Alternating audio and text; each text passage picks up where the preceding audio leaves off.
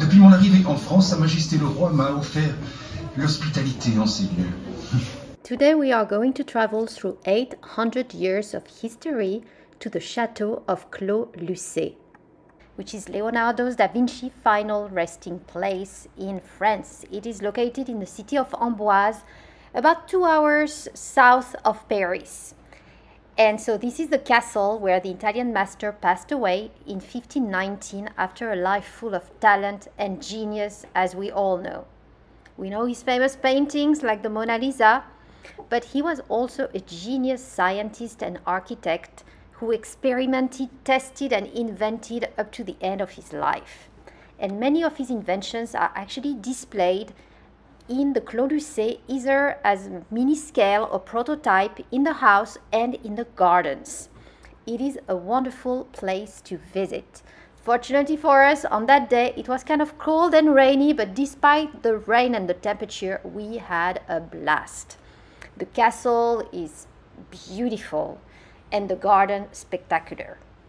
So the domain of the Clos Lucé was built in the Middle Age. It dates way back, 1200, 1400, and initially belonged to a local noble and rich family. Then it went to the local abbey, so the clergy, and then later to the kings. And it's actually the king, Francis I, at the time, who invited the Italian master in 1516 as a guest to France to this beautiful uh, domain as he was just passionate for Da Vinci's talent. He named him the premier painter and engineer and architect of the king. Look at that title. We don't get those titles nowadays anymore, right? So he offered him this castle and this domain for his enjoyment during his stay in France as it was located only a few meters away from the king's Chateau d'Amboise, which was one of the many royal castles in that area. And the say is that there was a secret passage that linked this uh, castle here, the Da Vinci's uh, place, to the king's castle, the main castle of Amboise. Just uh, for the two men to get together on a daily basis if the king wanted to. So he gave Da Vinci this castle, but not just a castle, he also gave him a stipend or a pension for his enjoyment. He wanted to keep the Italian genius happy in France and close by, and that was just for the king's enjoyment. The king wanted to have that genius mind next door pretty much so that he could uh, have a conversation with him, get his ideas. And that was it. He wanted to have him close by. So Da Vinci spent the last three years of his life in um, Amboise at the Clos Lucé, working on several projects for the King of France, surrounded by the many students.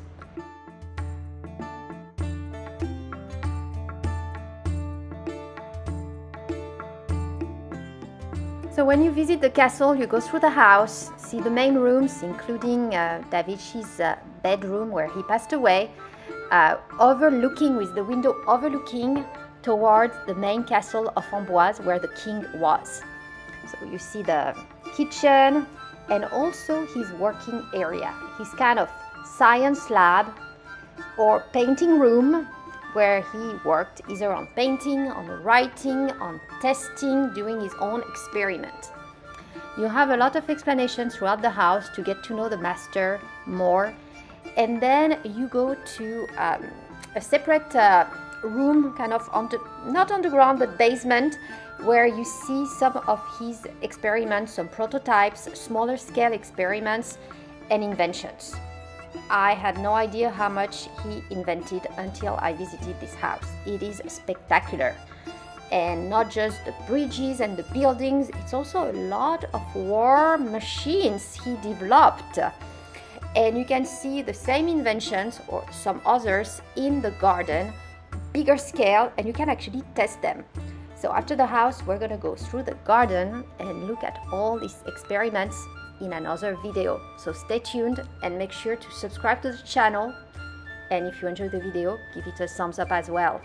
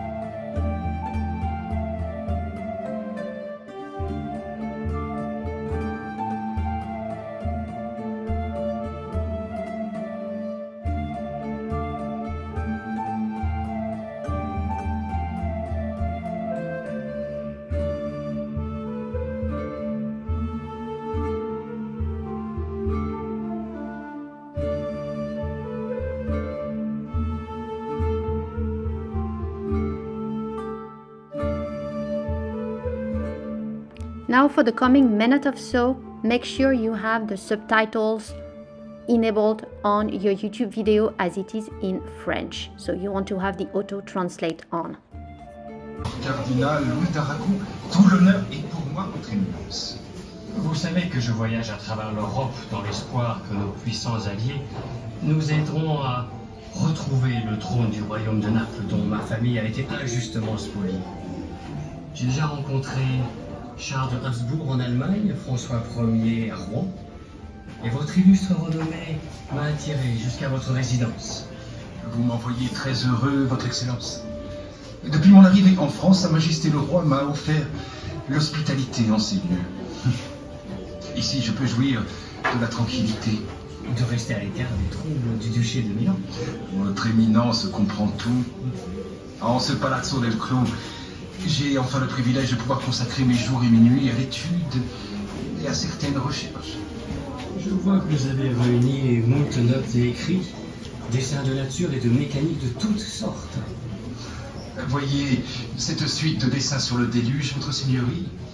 Je m'intéresse beaucoup au mouvement de l'eau qui érode les montagnes et comble les vallées. Si elle en avait le pouvoir, elle réduirait notre terre à l'état d'une sphère parfaite. Ces milliers de pages qui regroupent toutes vos connaissances, celles d'un esprit hors du commun. Mais ne devriez-vous pas les faire imprimer Je songe sérieusement à rassembler toutes mes notes manuscrites en effet. Cela permettrait d'ordonner mes propos et de présenter mes dessins. Mon disciple Francesco Melzi a quelques idées à ce sujet.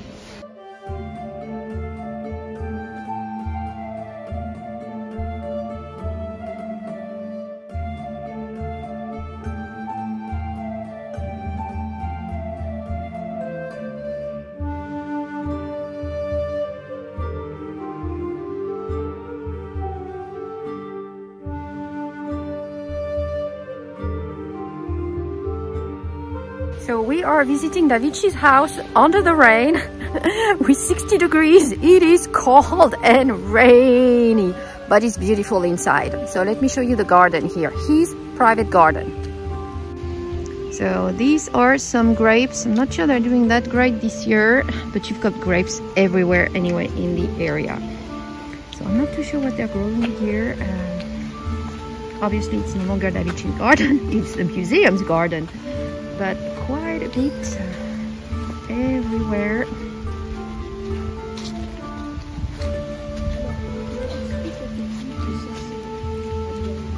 Oui.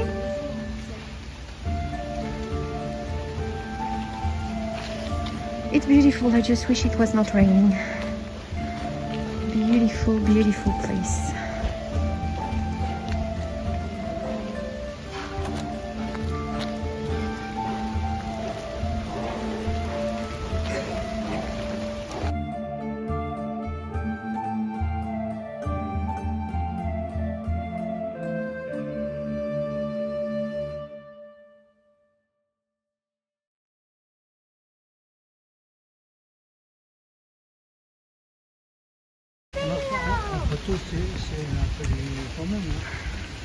Trestle Bridges. Oh, it's okay. It can take a tiny bit of rain. Yeah, it is raining.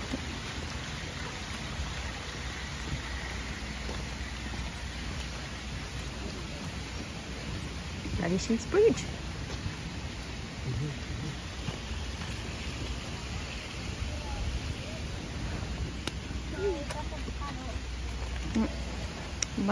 Oh, vous avez des explications en anglais si vous voulez, les filles.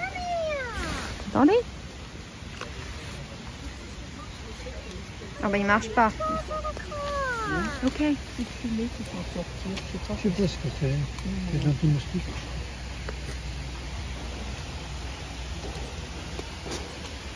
C'est là, Bordeaux, mais... Pourquoi il y a un canard pour midi, là Oh, c'est la nébule. euh. Un canard pour midi oui, y a un petit canard. Oh, mais il est heureux le canard. Lui, il aime la pluie. Hein? Hein? At least somebody's happy under the rain over there.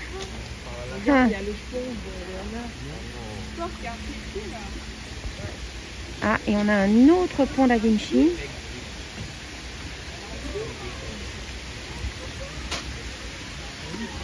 Wave propagation. Ah. Huh. Circular ripples on the water.